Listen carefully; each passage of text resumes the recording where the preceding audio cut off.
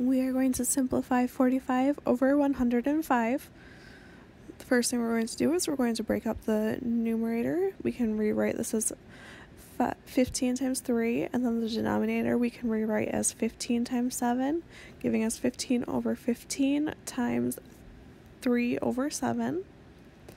Since 15 over 15 is 1, we'll get our answer of 3 over 7.